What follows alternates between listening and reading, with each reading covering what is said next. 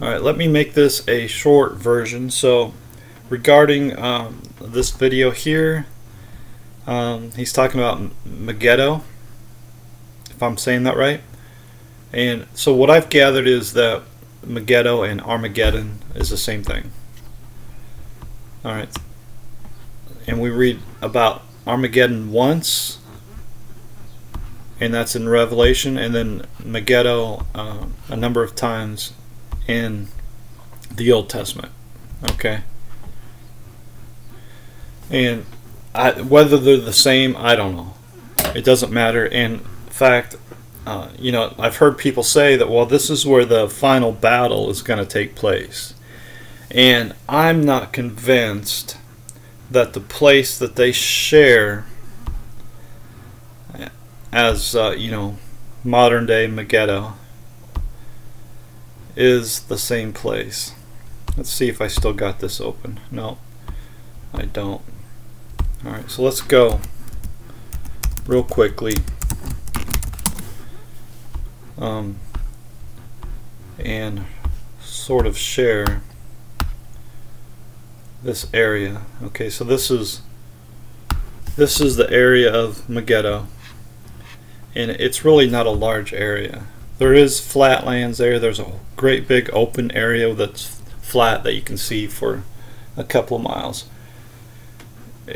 There's a better spot if you know if you wanted to put you know 8 billion people or whatever or it might be 50 billion people I don't know in the one area there's a better place and it's called Iowa or Nebraska. Or Iowa and Nebraska would be great because or Kansas as well. That there's flat land like you would not believe.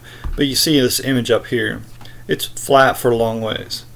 Right, maybe that is the final gathering place but uh, it, to me that doesn't matter because we're not going to be there on the earth. We're going to be up in the air with the lord jesus when fire comes down from heaven and devours them all. So let's let the let's let them figure out where they're going to be when they get destroyed. Okay it doesn't really matter to me because i'll be up in the air. I'll be safe and secure. I'm safe and secure right now. So anyways. And then the other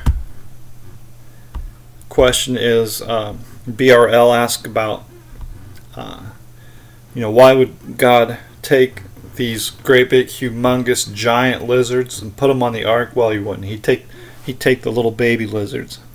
All right, and every creeping thing on the earth is um, would qualify as the lizard, and there are variations of each kind of creature.